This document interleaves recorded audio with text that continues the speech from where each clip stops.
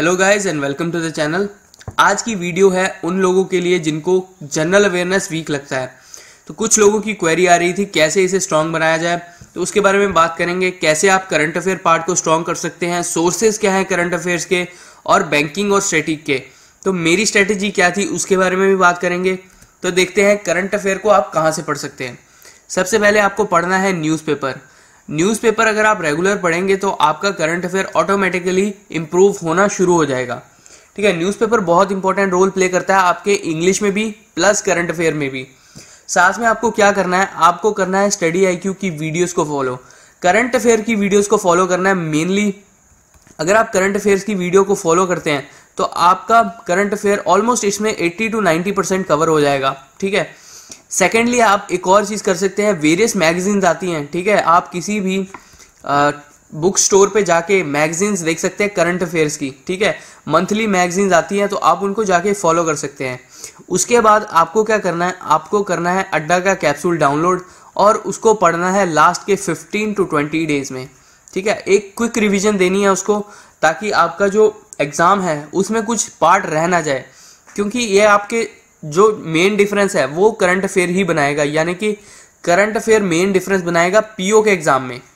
ठीक है? अब क्या होता है कि पीओ के एग्ज़ाम में करंट अफेयर का पोर्शन ज़्यादा होता है और क्लैरिकल एग्ज़ाम में थोड़ा सा करंट अफेयर का पोर्शन कम होता है। तो ये चीज़ है बैंकिंग थोड़ी ज़्यादा आती है करंट अफेयर में क्लैरिकल में। ठीक है? तो आपको ये चीज़ पता होनी चाहिए। अब बात करें बैंकिंग कहाँ से आप पढ़ सकते हैं। तो आप बैंकिंग के लिए फॉलो कर सकते हैं कैप्सूल अड्डा का, अगर आपने एक बार बैंकिंग पढ़ी है तो। अगर आपने अभी तक बैंकिंग नहीं पढ़ी है तो आप वीडियोस देख सकते हैं। मैंने भी पाँच, चार वीडियोस अपलोड किए हैं, आप उनको जाके फॉलो कर सकते हैं। अगर आपका बेसिक्स वीक है तो तो आपका बेसिक भी स्ट्रांग होगा और उसके बाद आप अड्डा का कैप्सूल भी फॉलो कर सकते हैं, अगर आपको डिटेल में जानना है तो। ये रही बात बैंकिंग की।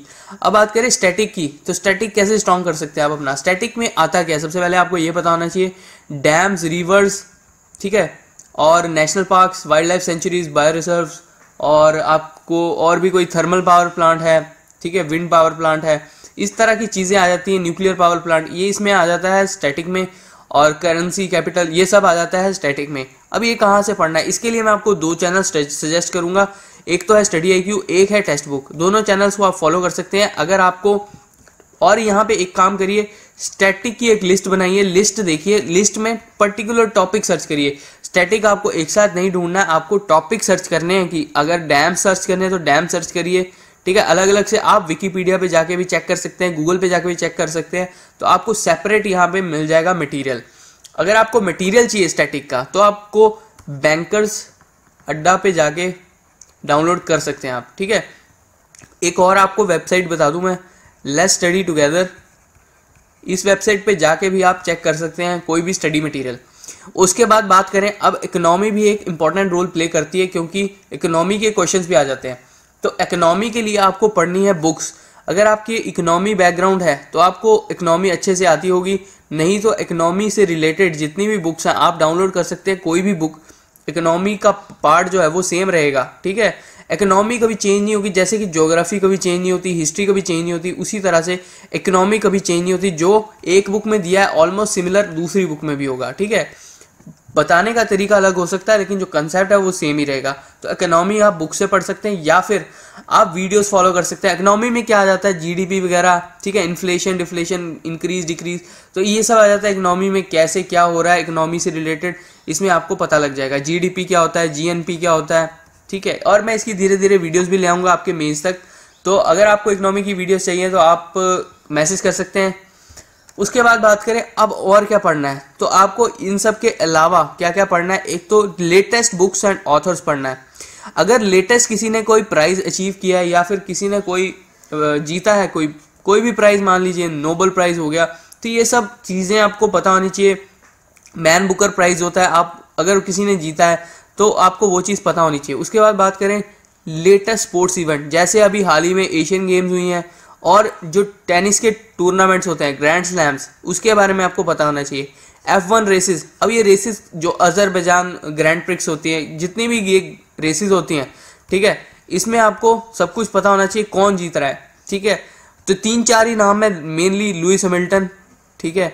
ये आपको तीन चार नाम पता होने चाहिए, अभी डिटेल में डिस्कस नहीं करेंगे। आपको तीन चार नाम है ये यही होते हैं बार बार। मेनली लुइस मिल्टन जीतते हैं, ठीक है? वल्टारी बोटास और इस तरह के दो तीन नाम हैं, ठीक है? आपको वो पता होने चाहिए।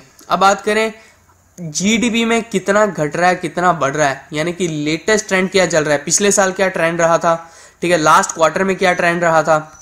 ठीक है, ये आपको पता होना चाहिए, क्योंकि जीडीपी जो है, ये इस टाइम काफ़ी चर्चा में है, काफ़ी लोग इसके बारे में जानना चाहते हैं, और ये ग्लोबल मार्केट में काफ़ी इंपॉर्टेंट मुद्दा बना हुआ है जीडीपी तो आपको इसके बारे में भी पता होना चाहिए इंडिया जो है, वो फास्टेस्ट ग्रोइंग इकोनॉमी है हमारी। तो आपको जीडीपी के बारे में ध्यान रखना है कि जीडीपी क्या होता है और कैसे बढ़ रहा है, कैसे घट रहा है।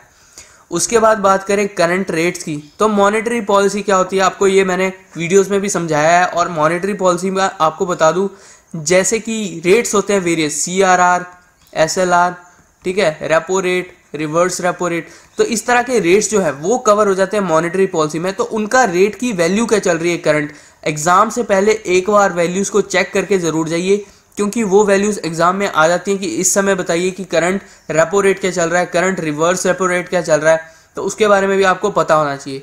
साथ में याद करिए डेज़ एंड डेट्स यानी कि कोई डे है, जैसे योगा डे कब आता है, ठीक है? इस तरह के डेज़ कब आते हैं? डॉक्टर डे कब आता है? इंटरनेशनल योगा डे कब आता है? वर्ल्ड हिंदी डे कब आता है?